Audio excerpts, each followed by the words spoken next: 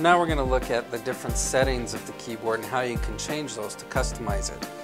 We made it possible to do all that right on the keyboard with this little function key, the blue FN key. Very similar to how many laptops have an FN key. So you'll see it's color coded. Anything that the function key can affect also is blue.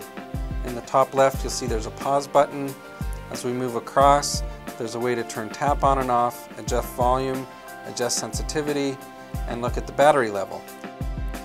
To adjust the volume, those little chirps that you're hearing, I hold the FN key, and as I hit the key, the five LEDs show me what level of volume I'm at. So right now it's at 5, and just listen as I turn it down. And you can turn it right off. If you go with no LEDs, that means you've basically muted the audio feedback of the keyboard. Turn it back up, and that's full. There is a built-in battery, it's rechargeable, it's completely sealed, it lasts about a week, and if you want to see how your battery level is doing, again, it's on the meter, it's from 2 to 5, so my bat battery is 2 out of 5 bars, it's just about time to charge it.